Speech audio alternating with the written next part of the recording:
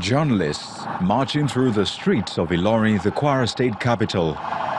They are protesting what they call the incessant harassment and detention of journalists across the country.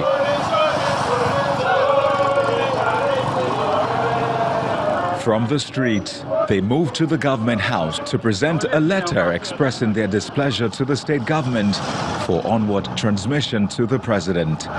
Your Excellency, Honorable Commissioner, if we must sustain our democracy, then the safety of journalists is not negotiable. Yes. If our democracy must thrive, if Nigerians must reap from the dividend of democracy, then journalists must be allowed to carry out their constitutional responsibility. Yes.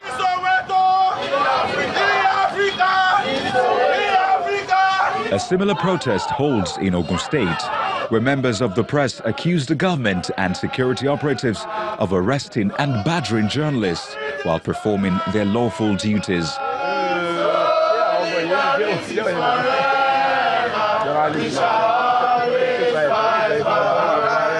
We are discharging our constitutional authority to report and write what is right in the interest of our dear country.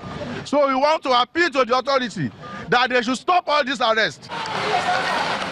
Not even the rain can stop their colleagues in Bauchi State from protesting. They later moved to the hall, where they also lend their voices to the alleged attacks against journalists and media houses. We shall, by the special grace of God, strive to combat relentlessly the present unacceptable level of impunity plaguing the country and deterring aspiring young Nigerians, just like our brothers and sisters from Atta, from embracing the profession and those already in the profession from living out of frustration.